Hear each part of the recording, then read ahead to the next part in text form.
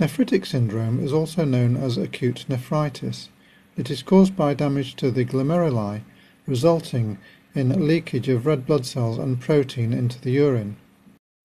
The presence of red blood cells in the urine gives it a smoky or Coca-Cola-like appearance.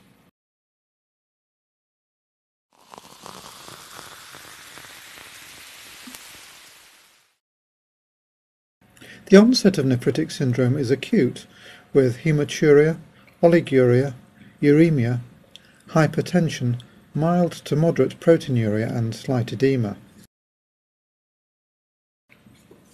The most frequent cause of nephritic syndrome is post-infectious, usually following a streptococcal infection. Other causes include Henoch-Schönlein purpura, hemolytic uremic syndrome, SLE, vasculitis, membranoproliferative glomerulonephritis, and malignant hypertension. It is the beta hemolytic Streptococcus Lancefield group A that causes acute diffuse proliferative post-streptococcal glomerulonephritis.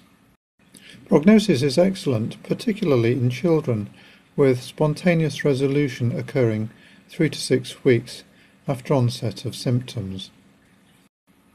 Occasionally, however, rapidly progressive or crescentic glomerulonephritis may occur with renal failure following post-streptococcal glomerulonephritis.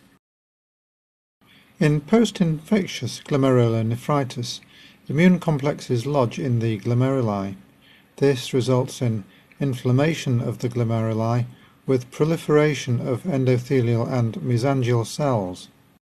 If damage to the glomerular capillaries causes blood to leak into Bowman's space, this can result in proliferation of the epithelial cells of Bowman's capsule, causing crescents to form.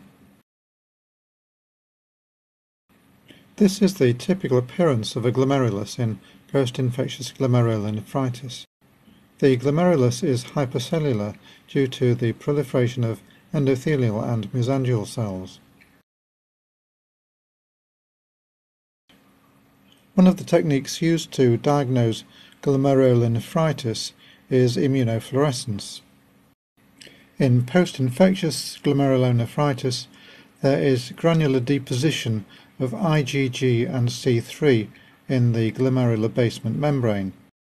This glomerulus is stained for C3, producing a rather pretty starry sky appearance.